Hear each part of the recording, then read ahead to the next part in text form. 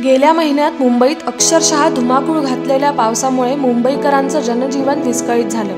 आणि तेव्हाच म्हणजेच एकोणतीस ऑगस्टला पावसानं उडवलेल्या हाहाकारात मुंबई आणि ठाण्यातील हजारो नागरिकांना या पावसाचा फटका बसला.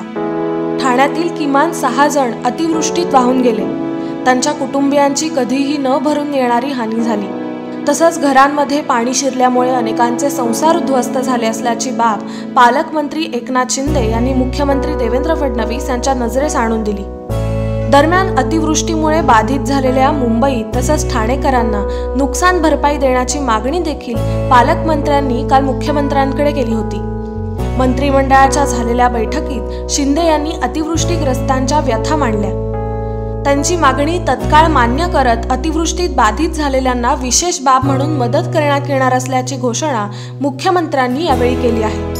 अतिवृष्टीत झालेलं नुकसान हे न भरून येणार असलं तरी या मदतीमुळे मुंबई आणि ठाणेकरांना मोठ्या प्रमाणावर दिलासा मिळणार असून तातडीनं मदत जाहीर केल्याबद्दल पालकमंत्री शिंदे यांनी मुख्यमंत्री देवेंद्र फडणवीस आणि मंत्रिमंडळातील सर्व सहकाऱ्यांचे आभार मानले आहेत.